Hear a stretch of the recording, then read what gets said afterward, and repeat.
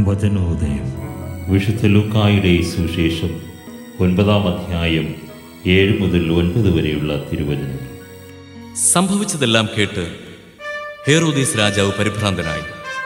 എന്തെന്നാൽ യോഹന്നാൻ മരിച്ചവരിൽ നിന്ന് ഉയർപ്പിക്കപ്പെട്ടിരിക്കുന്നു എന്ന് ചിലരും ഏലിയ പ്രത്യക്ഷപ്പെട്ടിരിക്കുന്നു എന്ന് മറ്റു ചിലരും പണ്ടത്തെ പ്രവാചകന്മാരിൽ ഒരുവൻ ഉയർത്തു വന്നിരിക്കുന്നു എന്ന് വേറെ ചിലരും പറഞ്ഞിരുന്നു. ഹേറോദേസ് പറഞ്ഞു ഞാൻ യോഹന്നാനെ ശിരച്ഛേദം ചെയ്തു. പിന്നെ ആരെക്കുറിച്ചാണ് ഞാൻ ഇക്കാര്യങ്ങൾ കേൾക്കുന്നത്? അവൻ ആരാണ്? അവനെ കാണാൻ ഹേറോദീസ് ആഗ്രഹിച്ചു. വചന വിചിന്തനം.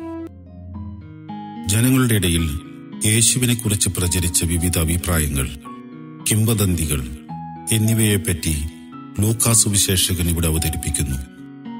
ബഹുജനാഭിപ്രായങ്ങളോടുള്ള ഹെറോദോസിന്റെ പ്രതികരണത്തിലൂടെയാണ് വിവരണം ആരംഭിക്കുന്നത്.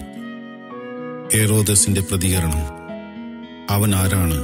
എന്ന ശ്രദ്ധേയമായ ചോദ്യത്തിലൂടെ അവതരിപ്പിക്കുകയാണ് ലൂക്ക.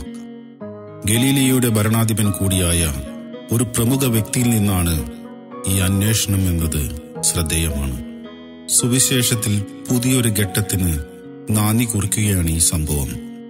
തന്റെ വ്യക്തിത്വം ദൗത്യം ഭാവിയിലെ സാക്ഷ്യങ്ങൾ എന്നിവ യേശു ശിഷ്യന്മാർക്ക് വിവരിച്ചു കൊടുക്കുന്നത് തുടർന്നു വരുന്ന സുവിശേഷ ഭാഗങ്ങളിൽ കാണാം.